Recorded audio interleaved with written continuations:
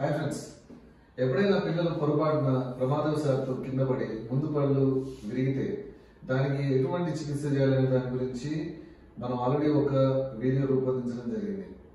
ఈరోజు మన దగ్గర ఒక పిల్లవాడున్నాడు తనకి ముందు పన్ను కింద పడడం వల్ల విరిగింది.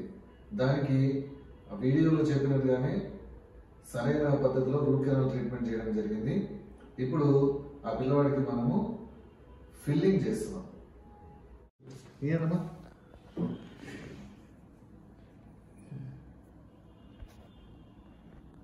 కరెక్ట్ సెంటర్లో పెట్టు. ఇది పన్ను ఈ పన్ను విరిగింది. దీనికి రూట్ కెనాల్ చేయడం అయిపోయింది. ఇప్పుడు దీనికి మనము ఫిల్లింగ్ చేస్తాం. పిల్లవాడు చిన్నవాడు కాబట్టి ఇప్పుడు మనము క్యాప్ పెట్టడానికి అవకాశం లేదు. వయసు ఫిఫ్టీన్ లేదా సిక్స్టీన్ దాటిన తర్వాత మనం క్యాప్ పెట్టడం జరుగుతుంది. సో ఫ్రెండ్స్ ఫిల్లింగ్ చేయడం పూర్తయింది. ఒకసారి చూడండి ముందుకు రాము.